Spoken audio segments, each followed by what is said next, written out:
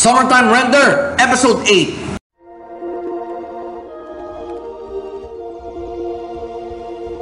Continuation from last time. So talagang nap napo po si Shinpei sa gulat. So after collecting himself, he, he was able to um, to finish cooking the curry. Ngayon, um, pinalabas na lang niya na uh, dalawang serving siya kasi one for him and one for Ushio. Nagkakaroon na siya ng hinala as to whether this this Ushio is fake or real. Ang daan ng kutsilyo na rito, eh, sasaksakin na niya yung anino eh. Then, uh, a few seconds later, bumalik si Mio. Pero, this is now the fake Mio. Ayun. Uh, sinugod silang dalawa. Pero, before Shinpei could actually defend himself, humarang na si Ushio. So, nasaksak siya. Pero, pero, yung fake Mio, sinaksak din yung anino ni Ushio. Ayun. Ilaslas yung uh, nalaslas yung braso rito ganon ni ni ni fake Ushio. Ayun, finally tumulong na rin sila Neso at ano, sila Neso at uh, Nagumo. Neso was able to uh, to kill the shadow Mio with his rifle. Pumasok na si Negumo sa kwarto. She was about to she was about to smash to, to smash the fake Ushio's head in Pinotektahan siya ni Shinpei. Eh, ang reason na ni Shinpei, this one saved my life twice already. Which, which was true. Nung episode, ano may episode, episode 6 or 7, ano eh, episode 5 or 6 pala, nung that, that incident from the festival wherein yung yung yung boss shadow ang naalaban nila biglang sinapak ni Ushio. That was a clone Ushio. This was that uh, that exact same one so eventually nag-usap-usap sila. And Namomo and Nezo decided not to not to work with Shinpei anymore. As long as he has this shadow with him. So yeah.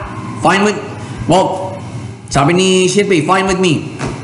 And bin, nagbili na lang si Shinpei kay Nagumo that to, to not die on the 23rd. The next day, um, Shinpei wanted to get on muna with his ordinary life. So, bago na siyang pumasok to, um, to, to work at the restaurant, the, um, the cook on his own. Everybody was working now at the restaurant. Then dumating si Su. Final scene. Sinabi na ni ni Shinpei na buhay pa si Ushio. Ayun, nagpakita si Ushio kay Su and as a um as a as a form of apology accepted, yep. She kicks Suo in the abdomen. Binigay ni Shinpei yung yung phone ni Ushio. At first, hindi niya mabuksan. Pero through fingerprint, fingerprint scanner, ayun, nabuksan yung phone niya. At meron pala siyang recorded video doon on the morning she died. On the, mor uh, the morning of the day she died. Okay, sige. Sabi ni Shinpei, ba, i-play natin yan. Baka meron kang, baka meron kang maalala dyan na ano, that, na, that led to your death. Right. Doon pinuto ng episode.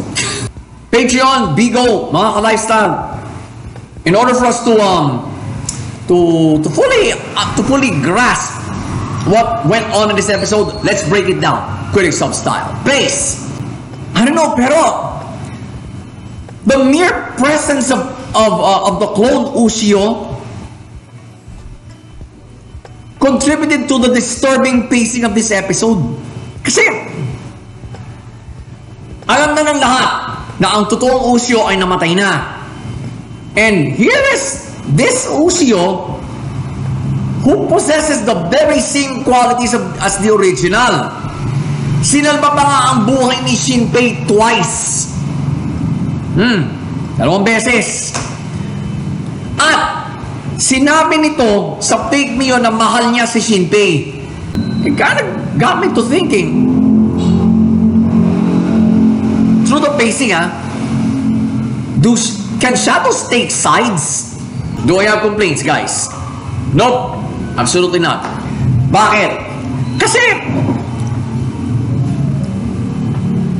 although medyo toned down ang istorya ng episode na to, yan. Although toned down ang ang storya ng episode na to, it, it still had that disturbing pacing.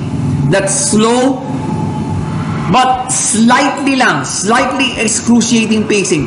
Merely because of the clone Usio's presence.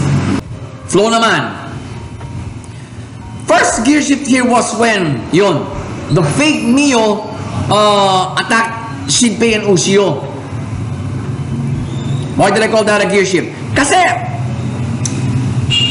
hindi na kailangan i-confirm mismo ni Shinpei na ang Usio ngayon ay isang clone lang. Pero, pero shadow din ito.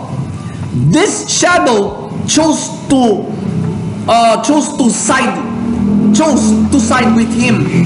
Let's go now to the second gear shift.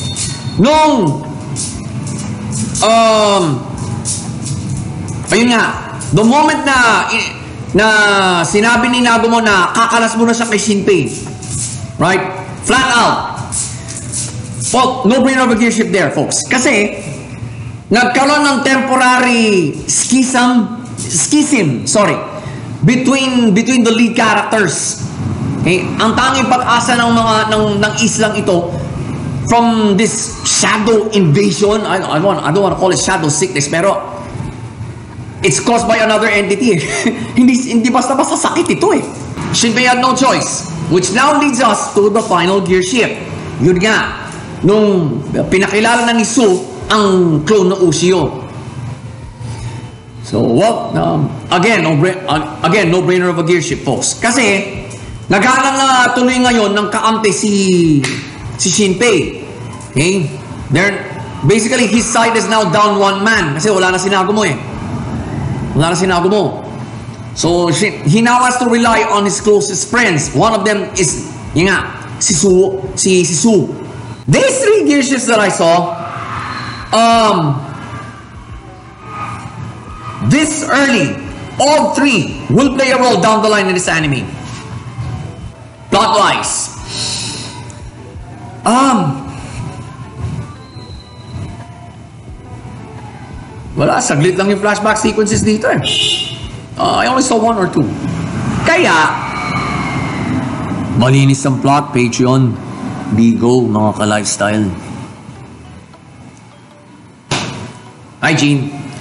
So, for an anime as disturbing as this and as complicated uh, na storyline, well, ironed out plots are out of the question right now. Kailangan mong, you need, as the viewer, you need to see a clean plot in order for you to understand the whole thing. So, in order to understand the whole episode. Kung lalagyan nyo ng mahabang backstory to or sumaintin muna kayo sa ibang kwento, sira. I mean, no, ma- mawawala pagka-disturbing ng episode na to. Right? Kasi medyo namawasan nung uh, tawag dito, nung umentra na yung yung clone na yung clone na Ushio. So, Ano namang lagyan mo pa ng, ng backstory na mahaba? Hindi lalo nasira yung episode, di ba? So, everything's fine. Okay? The plot was really clean. So, pace, flow, and plot, they all came together for this episode, folks. So, Summertime Render, Episode 8.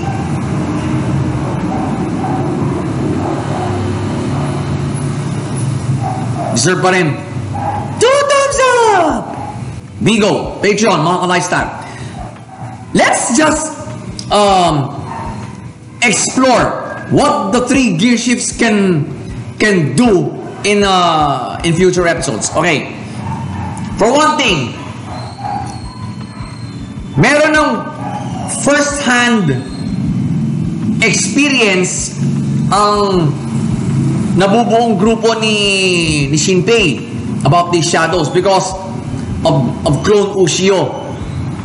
Right? Because of, oh, we can call her Ushio. Okay?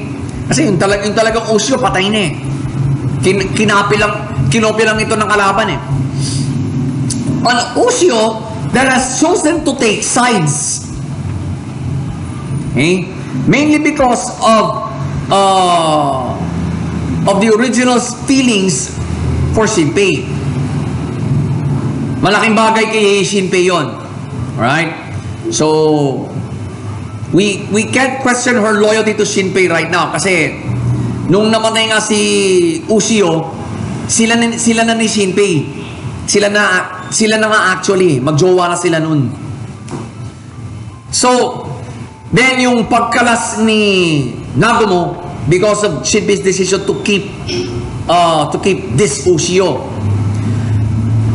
I don't think um, that um, yung pagkalas niya would be would be all throughout this ano eh, would be all throughout this this anime's run. We may see them uh, on the same page again. Si Nagumo at si Ushio. Right? And of course, may bago na may bago nang kakampi si uh, may bago ng member sa team Shinpei. Si si Su. Right? Shinpei and Ushio are now filling him in as, as to how these shadows are operating. Tapos, uh, as a form of recollection, ayun, binigay na ni, binigay, binalik na ni Shinpei yung phone ni Ushio sa kanya. And of course, yun, uh, makita kung meron siyang maalala or whatever, which will, which will be continued for sure in the next episode. Kaya, why we're going to um, see kung how kung paano mag-operate ang mga shadow na to. Now that uh, we all know as viewers na well, shadows are not exactly a strong collective. They can think on their own. Ito nga eh, kumapiki Shinpei eh.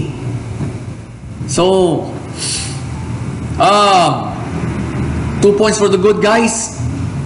Definitely. So again, Nawala ako tuloy. Sorry. Summertime Render, Episode 8, 2 thumbs up. Another 2 thumbs up for this anime, mga ka-lifestyle. Bigo, Patreon. Wow! Oh my God. Talagang medyo, pero naging komplikado tuloy yung story. Let's just watch it. So Patreon, Bigo, wait for my next upload regarding this anime. And for those of you who are still stuck with the CHD, abay gumising na kayo.